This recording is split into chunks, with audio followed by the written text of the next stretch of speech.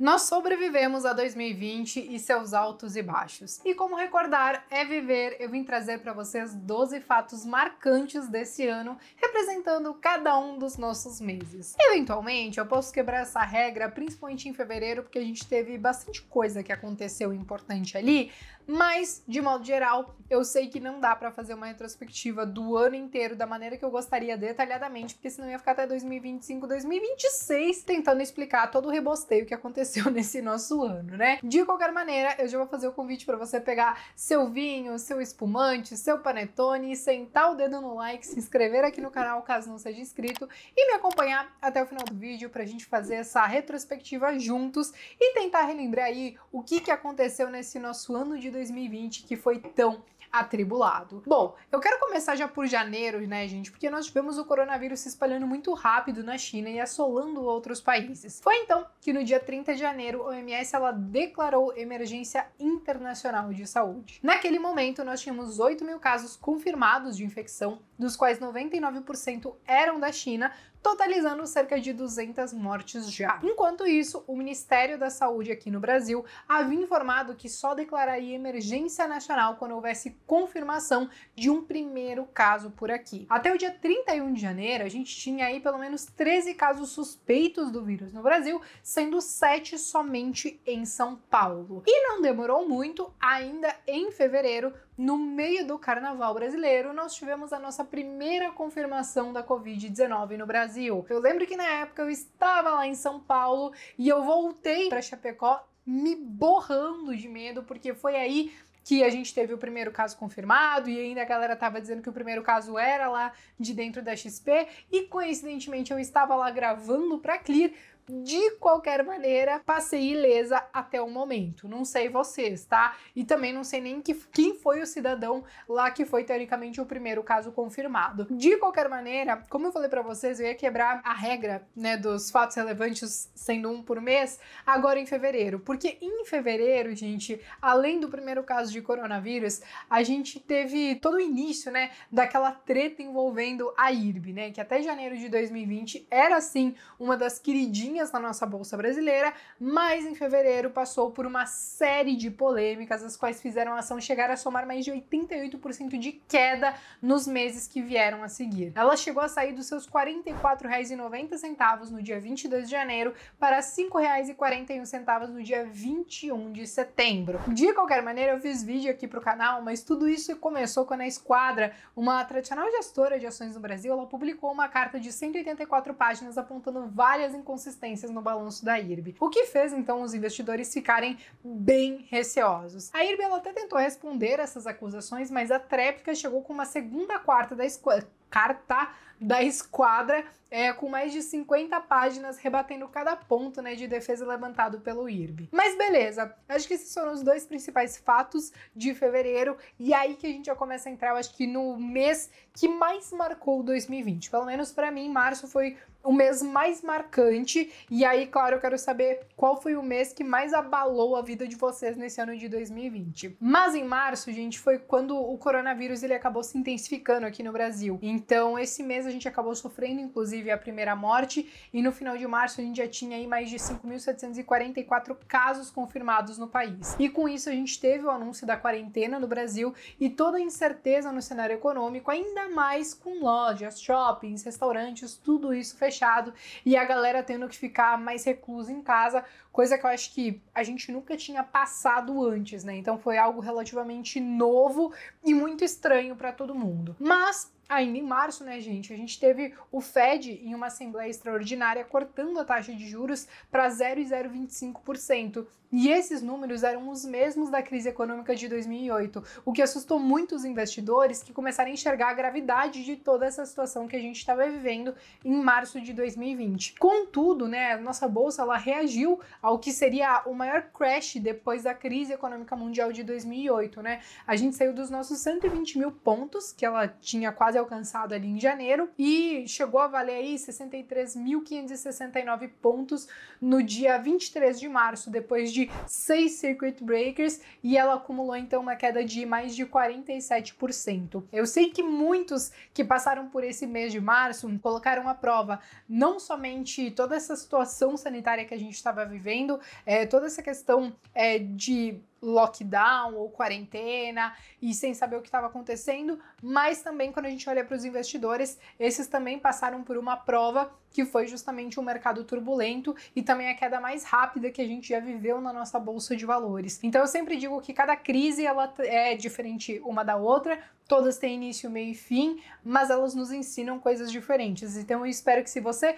já estava aqui antes de março e viveu tudo isso que aconteceu em março, que você tenha passado bem por ela e se você cometeu algum erro, fez alguma cagada, que isso tenha servido para lá na frente a gente não repetir isso novamente, beleza? Mas saindo de um dos meses que eu acho que mais me marcaram em 2020, agora vamos falar de abril, gente, porque ele foi marcado pela crise do petróleo, pois desde março as petrolíferas elas vinham sofrendo grandes quedas, principalmente por muita gente estar tá mais reclusa em casa nesse período, diminuindo diminuindo inclusive, por exemplo, o consumo de combustível, né? Mas essa guerra toda ela começou quando a OPEP ela sugeriu cortes na produção de petróleo, pois em tese, tendo menos petróleo no mercado, o preço voltaria a subir. Porém, a Rússia, que parece que faz as suas regras à parte, ela não faz parte da organização e não quis aderir à ideia.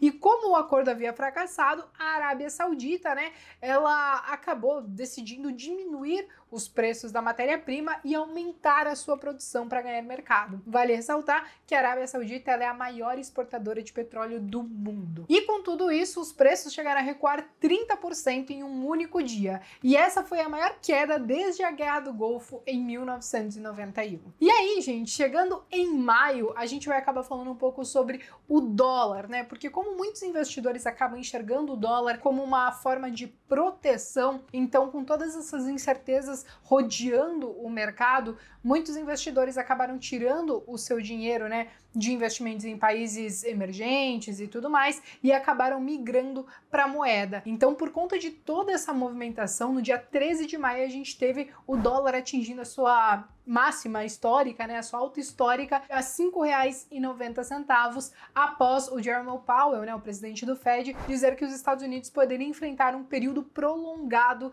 de crescimento fraco. Enfim, gente, agora chegando em junho, a gente precisa falar de algo que acabou movimentando principalmente algumas empresas da nossa bolsa de valores. Porque no dia 24 de junho nós tivemos o Senado aprovando o novo marco do saneamento básico, o qual busca alternativas para que pelo menos 90 99% da população receba fornecimento de água potável e que 90% tenha acesso a serviços de coleta e tratamento de esgoto até o final de 2033, como prevê o Plano Nacional do Saneamento Básico. Para isso, gente, as projeções de investimento elas variam entre 400 e 600 bilhões de reais durante todo esse período. O projeto ele prevê o início da não obrigatoriedade de licitação por parte do prefeito. Ou seja, isso deixaria a concorrência muito mais aberta. E assim, os municípios eles ganhariam mais agilidade e autonomia e fez também com que os investidores ficarem de olho,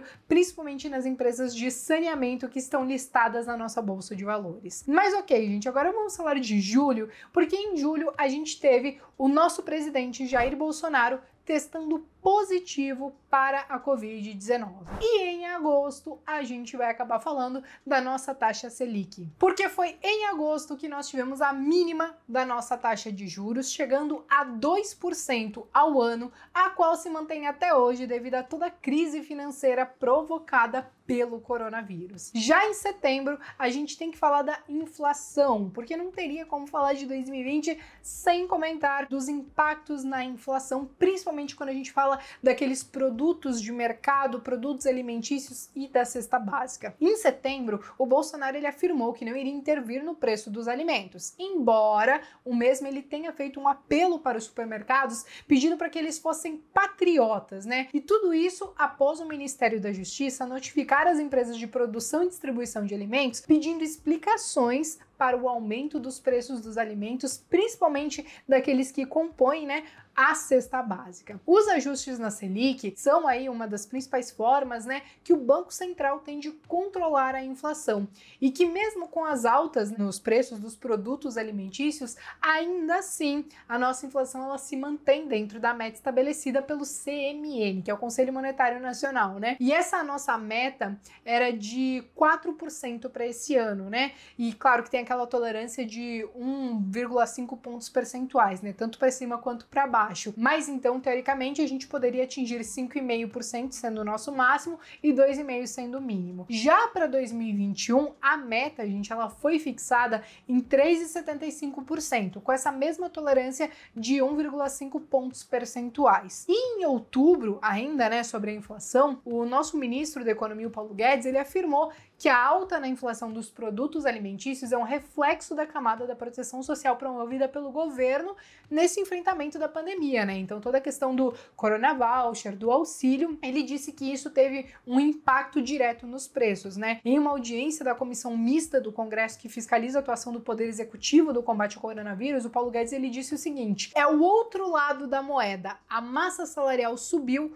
consumo subiu e preços subiram. Ou seja, o poder de consumo das classes D e C se elevaram e com isso passaram a consumir mais desses alimentos e com o grande aumento da procura, né, então os preços também se elevaram de forma significativa. Para ilustrar o aumento nesses produtos, eu trouxe um gráfico do IGPM e não do IPCA, né, que é teoricamente a nossa inflação oficial. E aqui a gente consegue ver que até novembro a gente tem uma alta acumulada de 24,52%, o que é bastante coisa. Mas beleza, gente, vamos falar agora do que aconteceu em outubro, porque em outubro nós tivemos as BDRs sendo liberadas para todos os investidores da Bolsa de Valores. Sim, a B3 junto com a CVM tirou uma restrição né, para os BDRs que antes elas só podiam ser negociadas, pelo menos é, as BDRs não patrocinadas, por investidores qualificados, ou seja, aqueles que tinham mais de um milhão de reais investidos ou alguma certificação que os considerassem qualificados no nosso mercado financeiro. Então, é, de outubro para cá, todos os investidores passaram a ter acesso a esse tipo de investimento, que nada mais é né, do que empresas que estão sendo negociadas em outras bolsas de valores, agora sendo negociadas através dos BDRs, que não são as ações propriamente ditas, mas diretamente da nossa bolsa de valores aqui. Ou seja, se você tem conta em uma corretora aqui, você consegue negociar esses papéis sem ter a necessidade de abrir uma conta lá fora. Mas eu sei que esse ano também ele foi muito movimentado principalmente pelos investidores olhando para o mercado lá fora e realmente fazendo seus estudos para começar a investir diretamente lá fora. De qualquer maneira, gente, agora vamos para novembro, porque em novembro eu acho que nós tivemos a nossa maior polêmica do ano, porque nós precisamos falar das eleições presidenciais. Em novembro, o que movimentou as bolsas do mundo todo foram então as eleições presidenciais americanas, na qual nós tivemos o Joe Biden, né, representando os democratas, eleito o novo presidente do dos Estados Unidos com 306 votos eleitorais. Assim, o Biden ele se tornou o 46º presidente dos Estados Unidos, mas a gente sabe que o Trump ele não aceitou a derrota, alegando inclusive uma fraude eleitoral. Uma não, várias fraudes eleitorais. Mas no fim das contas, no dia 14 de dezembro, o colégio eleitoral confirmou a vitória de Joe Biden nas eleições presidenciais dos Estados Unidos. E aí, gente, já indo para o último mês do nosso ano e que aí eu acho que no meio de tantos altos e baixos, eu acho que dezembro a gente pode considerar definitivamente um alto, pelo menos quando a gente compara com todas as outras coisas que aconteceram em 2020. E aí a gente já começa a falar um pouco sobre as vacinas, né? Terminando o ano com um cenário muito mais otimista, porque nós tivemos então em dezembro a aprovação de várias vacinas pelo mundo, começando pela vacina da Pfizer e BioNTech sendo aprovadas no Reino Unido. Então, no dia 21 de dezembro, nós tivemos a Agência de Regulação dos Produtos Médicos da Europa aprovando o uso da vacina contra o coronavírus desenvolvida em conjunto pela Pfizer e pela BioNTech. E já quando a gente fala do Reino Unido, Israel, Estados Unidos, Arábia Saudita, lá a população já começou a ser vacinada. E quanto ao Brasil, a gente teve no dia 7 de dezembro o governo de São Paulo se adiantando e anunciando que daria início à vacinação ainda em janeiro de 2021 com ou sem aprovação do governo federal, e que a imunização ela seria dada em fases, né? Mas uma coisa que a gente não pode esquecer é que no meio de tudo isso existe a Anvisa que precisa aprovar essas vacinas para que elas possam serem usadas né, na população. De qualquer maneira, no dia 16 de dezembro, o Ministério da Saúde ele finalmente se pronunciou e lançou o Plano Nacional da Operacionalização da Vacinação contra a Covid-19, o qual tem a previsão de imunizar mais de 51 milhões de pessoas ainda no primeiro semestre de 2021. A previsão é que toda a população brasileira seja imunizada em 16 meses, sendo os quatro primeiros meses para os grupos prioritários e os demais para a população no geral. E a gente vê como reflexo de tudo isso a bolsa brasileira bem otimista, né, gente? Aqui eu já quero colocar um outro gráfico para vocês, porque a gente já começa a ver que Agora, né, de março até aqui, a gente teve uma recuperação muito forte e agora em dezembro, então, a gente atingiu os mesmos patamares que nós estávamos negociando antes de toda essa pandemia, antes de fevereiro, março, que foi aí que começou todo o rebosteio que eu trouxe para vocês, né? De qualquer maneira, eu não quero jogar água no chope de vocês, nem estragar os prazeres de vocês nesse final de ano, mas a gente precisa falar sobre a mutação que o coronavírus passou, né? Então, antes de mais nada, acho que é importante a gente falar que essa mutação de vírus é algo relativamente comum. Mas então o pessoal estava estudando uma nova cepa do coronavírus que tem assolado o Reino Unido e fez então países europeus suspenderem voos e trens provenientes de países vizinhos, porque ela apresenta então algumas alterações genéticas. Para o primeiro-ministro Boris Johnson, ele diz que embora a nova cepa seja até 70% mais contagiosa do que a anterior em circulação no país, nada indica que ela seja mais letal, nem que cause uma forma grave da Covid-19 ou reduza a eficácia da vacinação. Então, teoricamente, apesar dessas mutações, a gente ainda não precisa se descabelar por completo, mas a gente precisa ficar atento, né? Então, vamos dar uma olhadinha em tudo isso que tá rolando, mas agora caminhando para o final do ano, eu vejo que nós já estamos mais próximos de uma possível vacinação. É claro que talvez muita coisa ainda pode acontecer, a gente vai acompanhando de perto. Só que agora, gente, depois de toda essa retrospectiva, né, retrospectiva que eu trouxe para vocês com os principais fatos de 2020, não todos, mas os principais, eu quero saber se vocês continuam otimistas é, para 2021 ou se vocês é, estão pessimistas para 2021, se vocês acham que a gente não vai ter grandes mudanças, se vocês acham que a vacinação não vai resolver todos os nossos problemas. Enfim, escreva aqui nos comentários que eu quero saber. E antes de encerrar o vídeo, eu não poderia deixar de desejar para todos vocês um feliz ano de 2021, que nesse finalzinho de 2020 vocês possam curtir com a família de vocês, que vocês possam descansar um pouquinho, preparar a cabeça para 2021 que vem aí e que a gente consiga fazer um ano muito melhor do que foi 2020, beleza? Um beijo no coração de todo mundo, um feliz ano novo e até o próximo vídeo.